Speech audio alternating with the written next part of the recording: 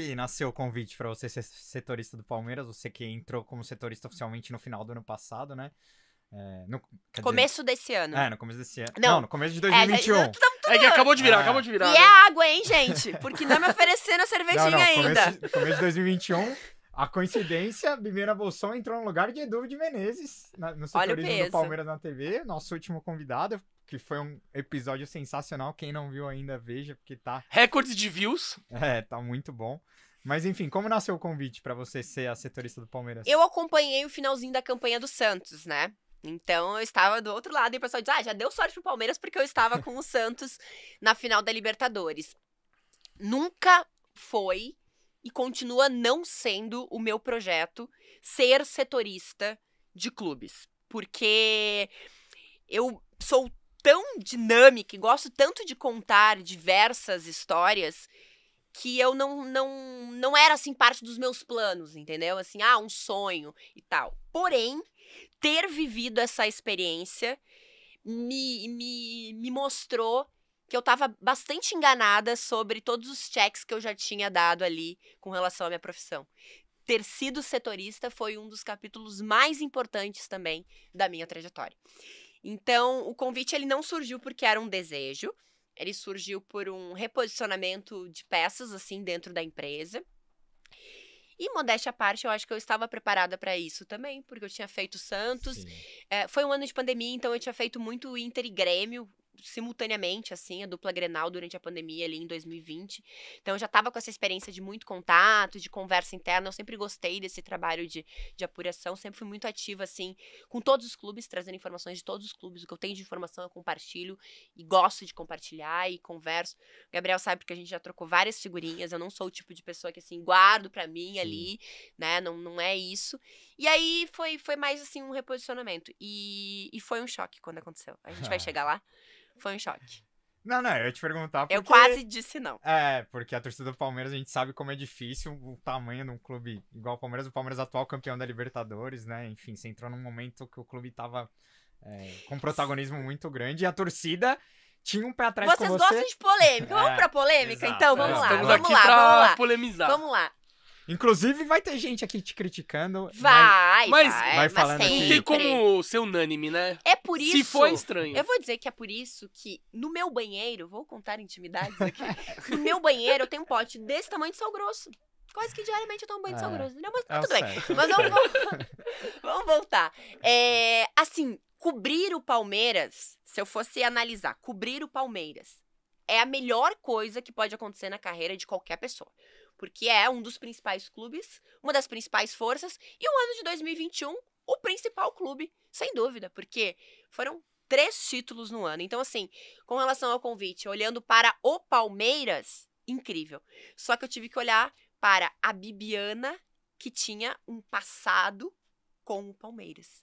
E o meu passado era de uma infantilidade, de uma. da brincadeira que todo mundo faz, e que eu sei que não tem verdade ou que não tem fundamento, porque é corneta de, de, de, de, futebol e o Palmeiras tem a oportunidade de finalmente encerrar 100% essa corneta e eu estou torcendo para que isso aconteça.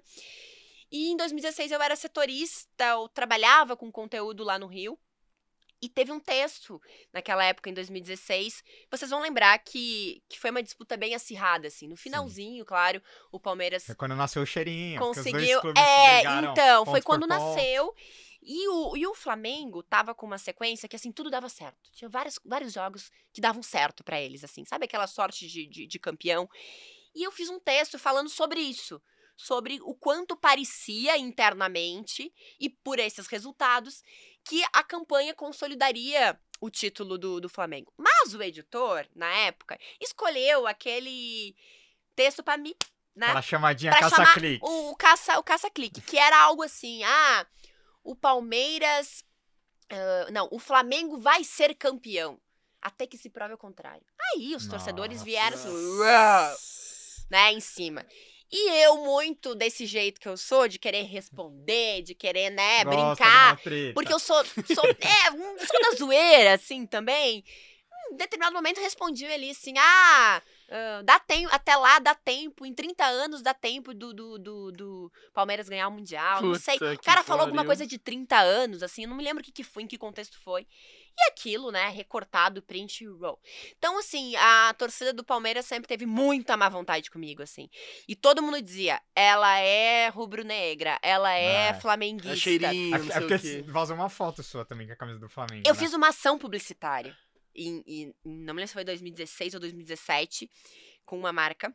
Muita gente acha que você é flamenguista. E eu tenho muitas camisas, entendeu? Assim, tem foto minha em outros estádios e com outras camisas, porque eu trabalho com marcas esportivas, entendeu? Então, assim, aconteceu isso da foto e só que assim, isso não, essa é esse contexto nunca fez sentido pra mim, porque no Rio Grande do Sul a gente tem uma cultura de muito apego aos clubes gaúchos. É muito difícil você encontrar um gaúcho que torça pra times que não sejam do Rio Grande do Sul. É muito dividido assim, Grêmio, Inter. Até, e aí até no interior, tipo, por exemplo, um cara que torce pro Brasil de Pelotas, ele Ou- torce pro Brasil um cara de Caxias que torce pro Juventude. Aí, aí Ele o cara torce, torce pro Não, Sim, juventude tudo to- bem. Ah. Porque- Porque tem mais Geralmente- tradição, mas eu peguei um exemplo, tipo. Porque, por exemplo, no Ah. Rio, vamos supor, no Rio não, vai, no Nordeste, o cara é Ceará e Flamengo. O outro é Fortaleza e Corinthians. Mas você sabe que tem uma explicação, assim. Na verdade, assim, no Rio Grande do Sul, eu acho que concentra muito Inter e Grêmio, muito. No interior, em determinados momentos, tivemos torcedores que eram apenas torcedores daqueles clubes do interior. Ainda temos alguns que ainda são só. Mas nos últimos anos, ah, pelos resultados esportivos e tal, acho que concentrou muito na dupla Grenal. Mas Ah, tá. Pelotas, por exemplo, respira o futebol. Pelotas e Brasil de Pelotas. Chavante, que é o time que eu, que eu apoio, que sou simpatizante, torcedora também. Então, assim, tem essa rivalidade. E aí, mas, mas não existe isso de torcer pra Flamengo, Ah. Palmeiras, Ah, casos muito raros, entendeu? Sim. O gaúcho, ele tem essa característica extremamente bairrista de valorizar o seu produto. Então, o Campeonato Gaúcho não é o Campeonato Gaúcho, é o charmoso gauchão. É o campeonato mais charmoso, assim, do raiz. Então, é tudo, assim, aquela expressão, ah, ah, melhor, melhor de todos, o Rio Grande do Sul. É é umas bobagens históricas, assim. Então, o gaúcho tem isso. E eu, eu acho que as pessoas, talvez, por desconhecer, não, né, não, não sabiam desse, desse sentido. E eu cresci num ambiente de, de futebol, num estádio. Eu, eu não sou ainda identificada, talvez em algum momento, pagando muito bem. Eu abro meu time, conte meu time. Mas, Ah, mas nas- todo mundo sabe seu time, né? Pelo amor de sei, Deus. É Flamengo, não é? É brincadeira. É, então. As- mas assim, é, são, são escolhas e são situações. É, E, é igual, a- é igual a Renata foi falar que ninguém sabe o time dela. É igual a E foi muito- Ninguém sabe o time dela. e foi muito difícil, viu, Kim, Gabi? Foi muito difícil. Não, imagina, imagina. Foi assim. Até porque a rede social, pra mulher, eu acho que pra mulher Foi. que trabalha com futebol, mais ela é mais tóxica ainda, Foi. né? E tinha muito Você, o a- tom de comparativo. Então, assim, além de ser a Bibiana, que pra muitos era ah, é a rubro-negra, um absurdo. Eu nunca fui rubro-negra, embora tenha torcido muito pro Flamengo e tenha me envolvido com a torcida do Flamengo também naquele momento, porque eu sou essa pessoa que se envolve. Eu torci pro Santos também, assim, então não vou ser hipócrita aqui, óbvio. Quando eu tava cobrindo o Santos no começo de janeiro, eu torci para o Santos, né? Assim como eu torci para o Palmeiras agora na final. Mas. Até perdi o meu, meu linha de raciocínio. Que a torcida começou a pegar no seu pé. Ah, então, além de pegar no meu pé, eh, tinha sempre aquela comparação, sabe? Ah, o Edu era muito melhor. O Menezes Hum. era muito melhor. Então, assim, não era a Bibiana que é ruim, era a Bibiana é ruim e ela é muito ruim porque ela é pior que o Edu. Então, essa comparação, assim, que tinha, sabe? Mais as questões estéticas, os ataques estéticos, assim, que eu, sinceramente, não vejo acontecer com homens, assim. Eu acho Sim, que não, é... é, Não. Com massivamente certeza esse com ambiente mulheres. é machista, não, não tem como negar isso. E no seu caso, envolveu.